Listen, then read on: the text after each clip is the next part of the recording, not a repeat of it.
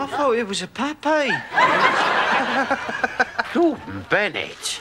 Duke, this is your Uncle Del and Rodney. He's lovely, ain't he? It's terrific. Take him for walkies first thing in the morning, once in the evening, and then again last thing at night. Now, when it's his bedtime, you put a blanket over him, and then you talk to him for a while. Don't want me to bring his wind up, do you? He should be all right. and don't worry, he's house trained.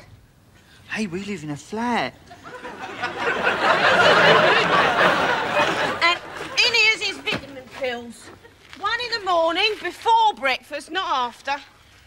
Marlene, come along, for God's sake. We do have a flight to catch. Come on, kiss him goodbye. Yeah, bye, Del. See you soon. For God's sake, the dog, Marlene. Yes, bye.